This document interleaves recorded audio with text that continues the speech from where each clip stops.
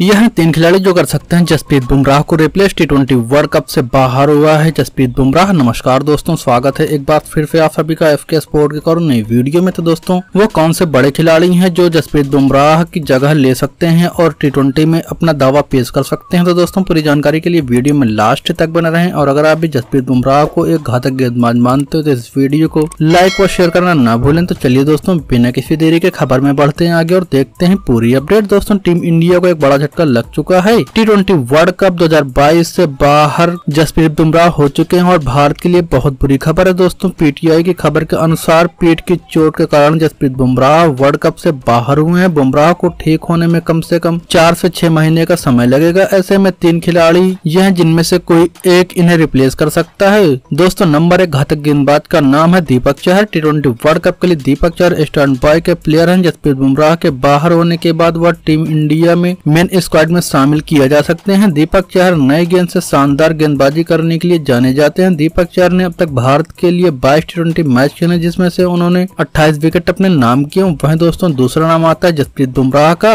दोस्तों, जसप्रीत बुमराह की कमी केवल और केवल समी ही पूरी कर सकते हैं। डेथ ओवर में मोहम्मद समी रोहित शर्मा एंड मैनेजमेंट के लिए नई जर्सी जान बनकर उभर सकते हैं। जसप्रीत बुमराह की जगह पर मोहम्मद समी भी एक अच्छे बॉलर माने जा रहे हैं। मोहम्मद समी का नाम टी वर्ल्ड कप में स्टॉन्ड बाई के खिलाड़ी के तौर पर शामिल है। वहीं दोस्तों, तीसरे खिलाड़ी हैं आग उगलने वाले उमरान मलिक। ऑस्ट्रेलिया की कंडीशन में रोहित शर्मा एंड मैनेजमेंट को उमरान मलिक पर भरोसा जता सकते हैं। दोस्तों, आईपीएल 2022 में उमरान मलिक ने शानदार प्रदर्शन किया था। वहीं लगातार वह 150 किलोमीटर और उससे ज़्यादा की गति से विपक्षी टीम के बल्लेबाजों में दहशत फैला रखे थे। वह दोस्तों, इतनी तेज की गति से गेंदबाजी करके वह वर्ल्ड कप में विपक्षी टीमों में दहशत पैदा कर सकते हैं। तो दोस्तों, उमरान मलिक में अब तक बात करें खेलने की तो उन्होंने तीन ट्वेंटी मैच खेले हैं। तो दोस्तों, आज की जानकारी में बस इतना ही। आपको क्या लगता है, जसप्रीत बुमराह को कौन सा खिलाड़ी कर सकता है रिप्लेस आप अपनी व्यक्तिगत राय हमें नीचे कमेंट सेक्शन में लिखना न भूलें। मिलते हैं नेक्स्ट अपडेट के साथ। अब तक के लिए नमस्कार।